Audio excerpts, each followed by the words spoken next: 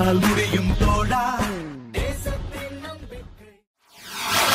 கொடைக்கானலில் இலவம் பஞ்சு விலை இல்லாததால் விவசாயிகள் கவலை. திண்டுக்கல் மாவட்டம் கொடைக்கானலில் உள்ள பூம்பாறை வயல் பகுதிகளில் இலவம் பஞ்சு உற்பத்தி பல ஏக்கர் பரப்பளவில் பயிரிடப்பட்டுள்ளது.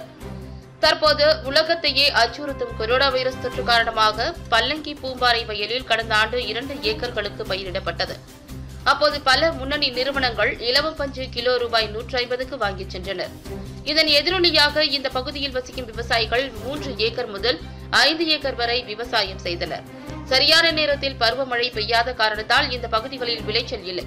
நூற்று நாற்பத்தி நான்கு தடை உத்தரவு காரணமாக இலவம் பஞ்சு தட்ட ஆள் இல்லாத காரணத்தாலும் வெளிமாநிலங்களுக்கு அனுப்ப முடியாத காரணத்தினாலும் கடந்த ஆண்டு நூற்றி ஐம்பதுக்கு விற்கப்பட்ட இலவம் பஞ்சு தற்சமயம் முப்பது ரூபாய்க்கு கேட்பதால் மரத்தில் இருந்து பறிக்க முடியாத காரணத்தால் இலவம் பஞ்சு மரத்திலேயே காய்ந்து அழுக்கும் நிலையில் உள்ளதால் விவசாயிகள் தங்களது வாழ்வாதாரத்தை இழந்துள்ளதாகவும் இதற்கு தமிழக அரசு மற்றும் வேளாண்மை துறை அதிகாரிகளும் நிவாரணம் வழங்க வேண்டும் என கோரிக்கை வைக்கின்றனர்.